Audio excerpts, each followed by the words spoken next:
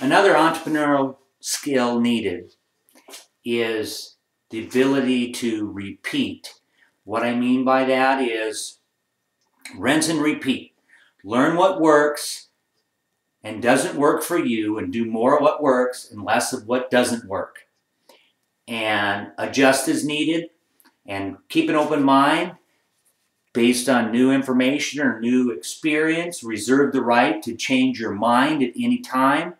But the ability to repeat is huge. Rinse and repeat, especially on those things that you do really well and the things you don't do well. Your people skills come in handy there where you get the people around you to help you with the things you're not so good at. So you can do what you are good at. So learn to rinse and repeat. And until next time, smile.